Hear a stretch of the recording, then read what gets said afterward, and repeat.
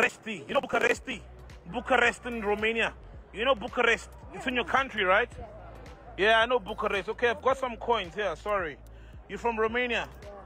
Oh, sorry, man. And you're trying to support your kids, right? Bucharest. I know Bucharest in Romania. There's a football team, Steaua Bucharest. You know Steaua Bucharest? And Dinamo Bucharest. No. Which other parts in Romania do they have? Okay, sorry. This is, this is South African money. This is something, it's a pence or something. I'm sorry, right? And this also, I think it's 10p. 20p. I'm sorry, eh? But I hope you sell all those things, yeah? These are some of the coins I've got here. Okay, stay well, be good, be blessed. Beautiful. Sharp.